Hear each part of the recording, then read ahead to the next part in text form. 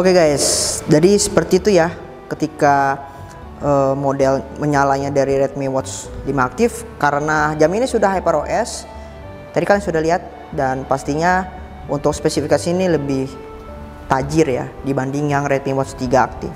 Nah, sekarang kita langsung aja kita setting dulu. Seperti biasa ya cara settingnya sangat mudah ya. Kalian bisa langsung ke bahasa Indonesia di sini.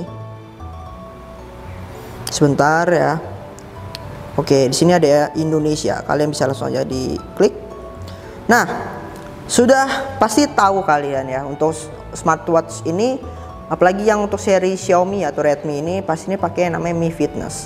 Jadi kalian harus download dulu baru kalian bisa yang namanya uh, connect ke si jam dan handphonenya biar sinkron seperti itu. Jadi kalau misalnya sudah sinkron pasti kalian pakai untuk olahraga dan datanya akan pindah ke aplikasi Mi Fitnessnya itu.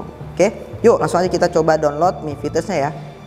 Oke, di sini Mimin sudah download ya Mi Fitnessnya kalau misalnya kalian kelihatan di sini dan kita coba langsung aja. Eits, lupa. Pertama-tama tuh kalian pastinya harus nyalakan Bluetoothnya dulu, ya, seperti ini guys.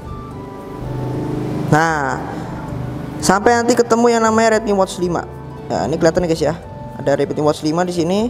Kalian tinggal klik aja Nah, ketika nanti dia sudah ter nah, terpair seperti ini, kalian langsung aja pair seperti ini ya.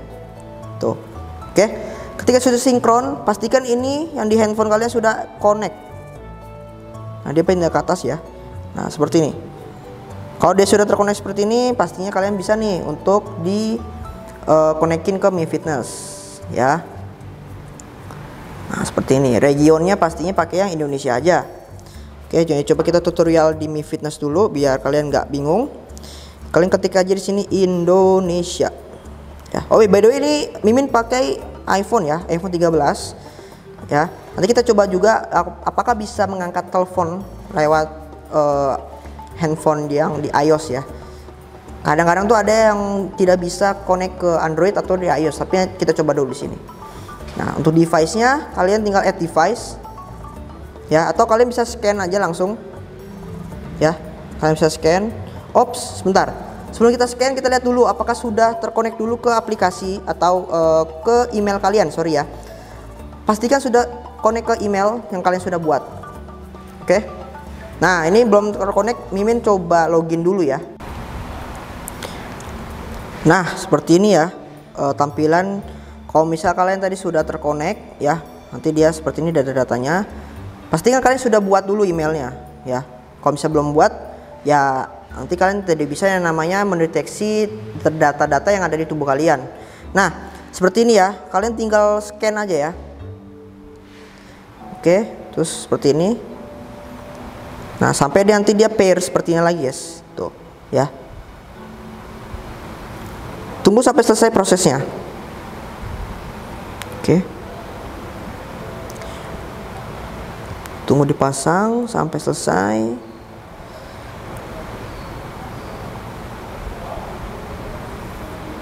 Ups. Sebentar ada yang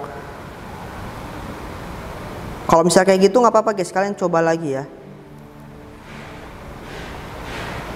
Nah jadi kalian jangan kaget kalau misalnya tadi kayak minta dicoba lagi atau nanti dia ada X gitu ya tidak checklist nggak apa-apa kalian coba lagi ya Biasanya memang seperti itu untuk mensinkronkan dari handphone ke jamnya.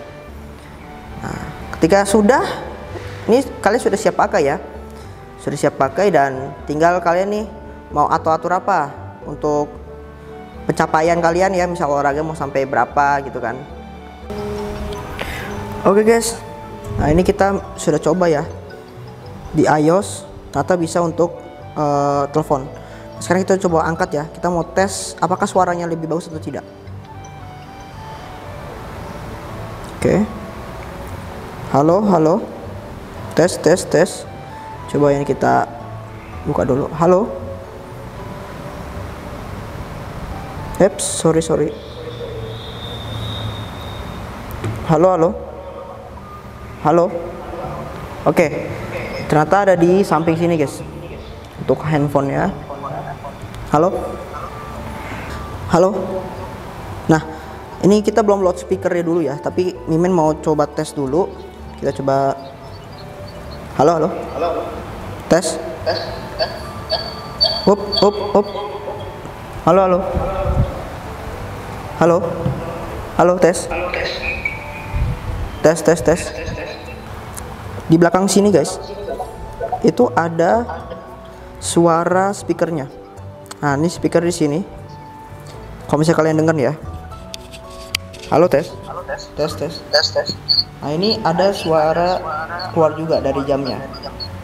Ya jadi suara jamnya juga ada speakernya. Jadi kalau misalnya kalian mungkin di jalan tanpa kalian nanti buka handphone terus kalian mau dengerin suara dari uh, teman kalian ya contohnya gitu ya. Nah ini kalian bisa dengar juga di sini. Seperti itu. Ya. Nah kalau misalnya kalian dengerin suaranya ya ini coba mimin agak jauh ya karena kalau misalnya mimin deket dia ada suara dengungan oke? Nah ini coba mimin agak jauh kalian bisa dengerin suara micnya. Halo? Bagus banget guys ya. Jernih. Enggak yang namanya ada kesek ada kesek karena karena jam ini sudah jam ini sudah mempunyai uh, dual, uh, ya, dual ya mic. dual mic atau misalnya atau misalnya dibilang dual mic noise, reduction. reduction. Jadi kalau misalnya, Jadi kalau misalnya kalian di jalan, kalian di jalan suara, ada suara motor lewat itu itu dia tidak dia tidak yang namanya ada suara bersih-bersih atau noise ya. itu ya kurang lebih seperti kurang itu. lebih seperti itu untuk untuk spesifikasi spesifikasi suara suara dari jam ini guys ya. Oke. Sekarang kita coba matiin dari sini. Ya dari sini kita matiin. Dan dia mati juga. Oke.